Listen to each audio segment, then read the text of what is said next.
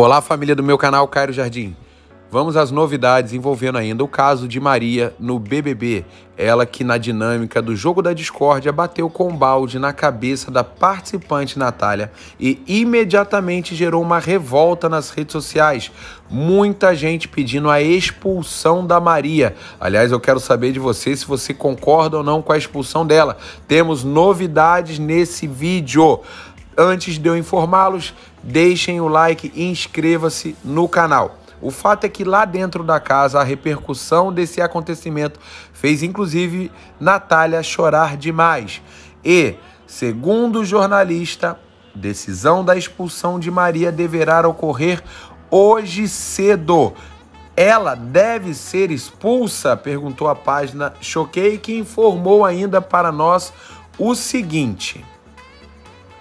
Decisão sobre a expulsão de Maria deve, deverá ocorrer amanhã cedo. No caso, hoje cedo. Direção está avaliando as falas dela. Tadeu ainda continua nos estúdios da TV Globo. Emissora está analisando a agressão de Maria com Natália e um novo posicionamento deve ser dado amanhã durante o programa. Você acha que Maria deve ser expulsa? A gente traz a informação e novidade a qualquer momento aqui no nosso canal. Não se esqueça de deixar o like e se inscrever. Acompanhe também, claro, todas as nossas lives. Cobertura completa do BBB você encontra aqui.